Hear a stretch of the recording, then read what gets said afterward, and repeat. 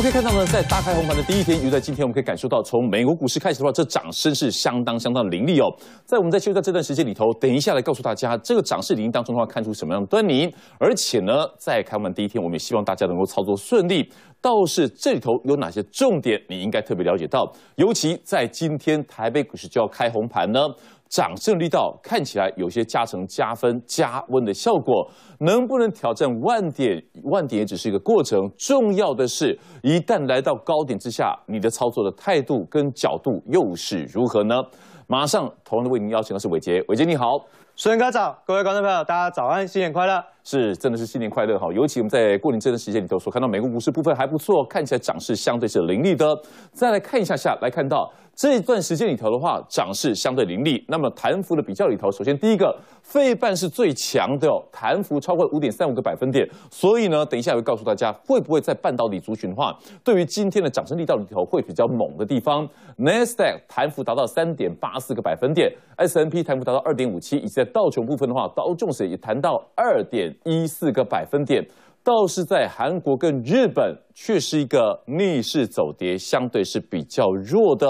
您的重点观察呢？好，我们直接来看美国股市在上个礼拜五收盘之后的一个表现。好，那我想在这个二月份开始之后，哈，这个美国股市仍然是延续着上涨的一个态势。但是呢，二月份的表现哦，到目前为止已经快来到一半，但是呢，它的表现却没有来的一月份来的好。怎么说呢？我们来看一下道琼工业指数哦，我们把这个二月份把它切开来，好，在这边，好好这边是从十二月底的开始反弹。那这一波的反弹呢，被美国人哈称为是。三十年来最强劲的一月的行情，好，这史称叫做神奇的一月份。那所以呢，在这个呃强劲的反弹过程当中呢，基本上哈是为了美国股市接下来有没有机会能够从反弹走到回升，垫下了一个比较好的一个基础。不过呢，我们大概把画面稍微放大一点，到了上个礼拜四，哦，盘势开始出现了一些变化。好，那再放大一点点哦，我们来看到。上个礼拜四、礼拜五，基本上在短线上面的美股是已经开始形成了短线的空头的走势。那什么会叫空头呢？简单来说，就是高点没过，低点跌破。哦，所以其实，在上个礼拜三之后见高，然后就开始出现了一波的回落。那当然，在前面的这个多方的缺口，仍然是哦这一波反弹的比较重要的短线的支撑价位。只要这个。这个多方的缺口没有去进行封闭，基本上这一波的反弹行情还有机会持续在强势格局当中去做整理。但是呢，这就要看一下接下来在科技类股的一个表现。我们来看一下 Nasa 指数哦，在 Nasa 指数的部分哦，它跟道琼工业指数比较不一样的地方是，道琼工业指数连续三天是没有留下空方缺口，可是呢，在纳斯达克指数上面是在礼拜。四的部分是留下了一个空方的缺口，还没进行封闭。那只要这个缺口没有去进行封闭，那么代表接下来科技类股回档的机会会越来越大。那么同样，我们也把这个颈线的位置画出来给大家哈，一样在这边哈，那就变成是这一个平台整理区的上缘，好，就变成是现在短线的强弱的关键价位。只要一旦跌破，那么前面这个平台整理区跌破机会就越来越大哈，所以其实我们利用这样条件的设定去做观察，那么你也不用去猜会不会回补，反正它如果够强，它就是要回补。那另外我们来看到，刚刚我们看到在费城半导体指数反弹的幅度是最强哈，反弹的幅度最强哈，也就是说在二月份这几这几天哦，农历年封关的时候，哎，它其实是涨了超过五个百分点。那最主要是集中在两家公司，一间叫做 NVIDIA，另外一间呢叫做。台积电，NVIDIA 呢涨超过十个百分点，而台积电呢也上涨的 ADR 吼也上涨了超过四个百分点。这两家公司是费城半导体指数里面的权重股，所以贡献了不少的全值在费半指数上面。所以其实如果我们把这两间的涨幅全部扣掉，其实费半指数搞不好涨幅大概就跟道琼工业指数差不多而已。所以在看到这一波也是一样。开始进入到了短线的空头架构，一样，我们来看是低点持续跌破的部分，而且呢还回补了前一波的多方攻击缺口。那所以其实接下来在费城半导体的部分，很有可能就会开始进行一波比较整理的机会会居多。那么另外，我们从视觉图来进行观察，这是上个礼拜五哦美国股市收盘的时候的表现，一样，绿色是上涨，红色是下跌。板块越大，代表占全值越重。我们来看到上礼拜五跌什么？跌亚马逊。好，跌苹果。好，那很妙，在一个礼拜的涨跌幅当中，亚马逊跟苹果这两家全值股刚一涨一跌。哦，就是苹果涨的被亚马逊跌掉。哦，被亚马逊跌掉，所以基本上这个纳斯达克指数都是靠其他的这个科技类股在攻，比如说什么脸书啦，哦，比如说像微软啦，或者是其他的。半导体产业族群等等，哦，所以其实，在科技类股的部分，还是留下了一些跌升反弹之后的一些表现，能够让人家觉得说，哎，接下来在第一季度的行情当中，台北股市有没有机会能够跟上费半指数？那么重点就在于台积电接下来的表现。另外呢，我们比较重要关心是画面的左下角，在金融类股当中，基本上呢，它在这一波。台北股市封关的年假期间当中，基本上没有什么太大的表现，所以呢，我们也看到在金融类股开始出现反弹之后转弱的行情当中呢，代表着美国股市在新春开红盘之后，台北股市有机会在极短线，也许在上半周它会来反映美国股市的涨幅。可是呢，到了台北股市下半周，大家可能要稍微留意一下，毕竟在二月中过后到三月一号。别忘记三月一号九十天休战期要到喽。那如果在这期间当中，中美之间没有达成所谓的协议，那么到了三月一号就要确定把十趴的关税调到二十五个百分点。那么这样子还会再一次的对于全球的股市造成冲击。所以其实，在新春开红盘，大家稍微短线庆祝一下就好。后续在中长期的发展，还要持续留意一下国际股市的变化。好，在一连串谈话当中的话，你是不是也感受到说，哎，为什么所看到一些经济数据部分可能不理想？为什么美国股市始终还在涨升当中，甚至还能够有所突破？再一点，半导体族群不是很糟糕吗？为什么半导体族群里头的话，尤其包含在台积电身上，竟然相对犀利，相对涨势更加的强劲？那么延烧到国内来，这些相关的半导体族群身上，或者是台积电本身这么最重量级的全值，对台北股市但是洞见观瞻哈，这。指标性题材这里头的解读，我们稍后一一来看，因为新闻面当中的话也都有哈。首先第一个来看到，美国消费趋缓之下，企业获利还是有压的哈。这一点的话，虽然有不少利空消息，可是呢，为什么美国股市始终还在涨升当中？利多点火，新市场股会又形成是一个双涨的局面。特别强调还在新兴市场方面哈，全球股市又该怎么掌握呢？好，我们来看一下美国股市哦，在这个礼拜，它公布的是消费者信心指数。那消费者信心指数除了是针对美国所有消费者在消费的力道上面的一个展现之外，同时也代表着美国的消费者对于股市的信心程度的强弱。那通常这个指标，我们在跟股市的联动上面是呈现一个反方向的一个解读的指标。所以其实，在整个消费者信心指数公布之后，如果又呈现一个信心爆棚，那代表这一波的反弹真的套到了很多散户。那么接下来很有可能就会出现一个所谓的利多出尽的现象。另外，企业获利有压，这个是我们过去从去年的呃这个下半年开始就一路的提醒大家，到目前为止，即便美国股市在二月份持续的反弹。都没有改变，在今年度标普五百大企业或是全美国企业对 EPS 往下修正预估的这个趋势的改变，也就是说，股市仍然是处于一个呃空头的跌升反弹的架构，因为在整个基本面的部分，不管是在营收还是在 EPS 都是持续下滑，尤其是在这个 EPS 下滑的过程当中，大家别忘记哦，这个 EPS 它所呈现出来的是减税过后的数字。减税过后的数字已经开始掉到零轴以下，出现了负值的现象，就代表基本上如果扣除掉